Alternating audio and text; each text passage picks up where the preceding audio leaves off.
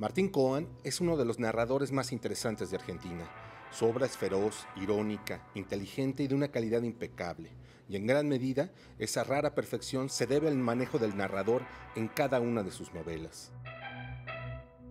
Me haces la pregunta clave para mí, para mí esa es la pregunta y no siempre me la hacen. Y así que te agradezco que me la hagas porque en rigor el narrador para mí es todo no, no, no me pliego a, porque no, no, son mis convicciones literarias, a la idea de que el contar una historia sea lo que define y lo que resuelve todo.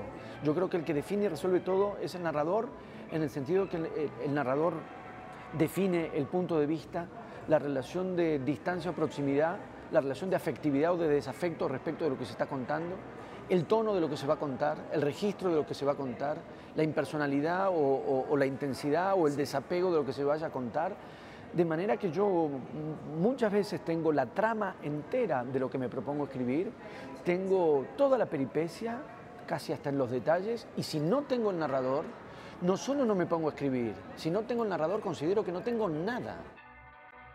Hay grandes cuentos sobre boxeo, como Torito de Julio Cortázar, y la novela del propio Cohen, Segundos afuera, narra la histórica pelea entre Jack Dempsey y Luis Ángel Firpo, de modo que vale la pena preguntar si el boxeo puede ser una metáfora del trabajo literario.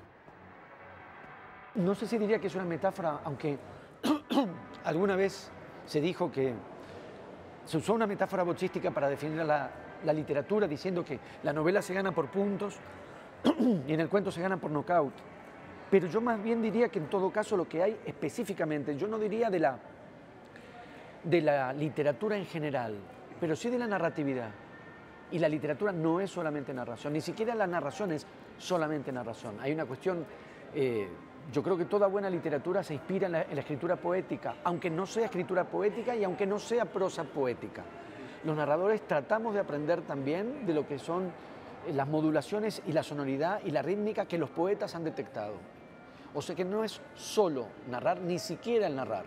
Pero creo que hay algo en el boxeo de la combinación de tensión y distensión, de espera y aceleración, el, tipo de la combinación entre la dimensión épica que tiene una lucha y la temporalidad, justamente porque tiene tiempos y destiempos, baches y esperas, por no hablar de la alternancia entre los tres minutos de pelea y el minuto de descanso.